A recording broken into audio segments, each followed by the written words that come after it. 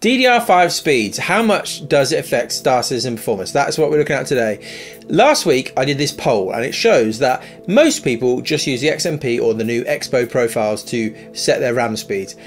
A small proportion of people do it manually and hats off to you. I did have a look at doing it with this DDR5 but I'll get into that in a minute. It didn't quite work out. But then a large proportion of people just leave their RAM. Now, this, in my opinion, is a very bad idea. The simple test you need to do is to right click, open up your task manager and see what speed your RAM is running at because you might be leaving huge proportion of performance on the table as we'll see a bit later when we get into the testing. But let me just quickly show you if this is you to how to go into the BIOS and change things. Into the BIOS. Turn the PC on. Hover over the delete key. Wait for some action from the PC. There we go, hit delete. See that there? Delete or F2 to enter my one.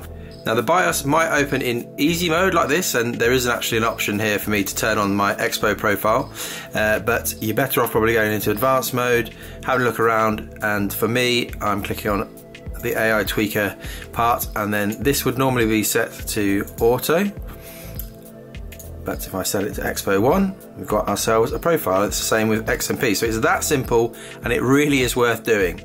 Remember, every time your BIOS gets reset, you update your BIOS, this gets set back to a default profile, which will not be the XMP or the Expo profile. So you'll be losing performance as we will see now as we get into the testing. So this testing has been done with my new main system, the 7700X. We're 4080 in, so we're not GPU bound at all at 1080p, which is what we're testing. And this is at 317.5, whatever we're on now. I've lost track. We're not a 318 yet. So, Lorville, as always, we've done loads and loads of runs of each because Star Citizen performance goes up, fluctuates, so you need to do loads of runs to average it out. When I came to do this testing, I went into the BIOS, turned off the Expo profile, and all hell broke loose. We found that this BIOS is just not that stable. And so the RAM basically wasn't stable unless it's on the Expo profile. And so all the testing I've done here has just been done on that Expo profile. It's kind of par for the course when you get these new motherboards and the BIOS manufacturers, uh, the, the motherboard manufacturers just take a bit of time to get everything stable. There's revisions. That's kind of standard. That's probably a, another video about making sure you update your BIOS. But in this case, you'll see the results here we see clear scaling from the slowest to what you actually get on the box. When you buy this RAM or when you buy a PC, a pre-built PC, it says this is the speed of the RAM, 6,000 mega transfers.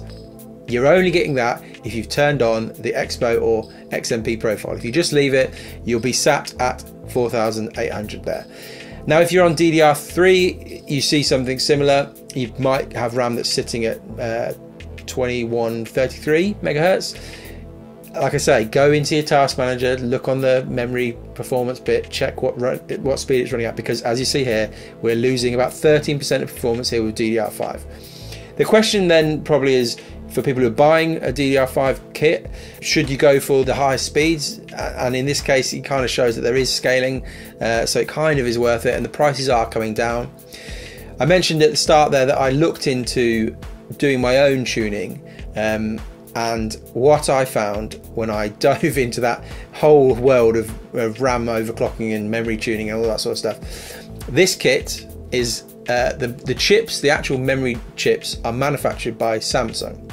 Now on DDR4, that was a good thing. There was Samsung B-die, I think it was, and they were the ones that were the best for tuning. And with the DDR5 chips, it's actually the opposite way around, or the Hynix chips are the best one, the SK Hynix ones.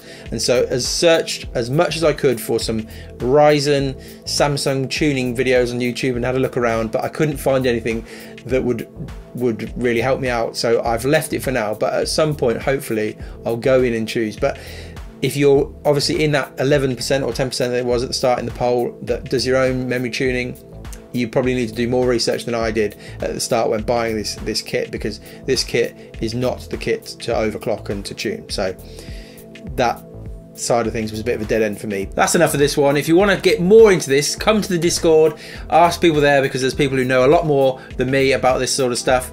And if you want to support this channel, all these parts cost a lot of money. So if you want to help out financially, feel free to become a YouTube channel member. That is amazing as well. See you soon. Bye.